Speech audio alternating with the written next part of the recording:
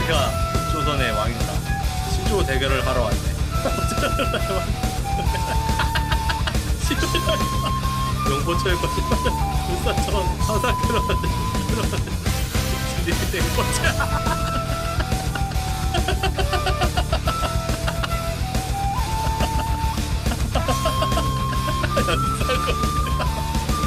좋아하겠다. 신기해. 고절하지 나의 조금을 누구에게 알리지 마라.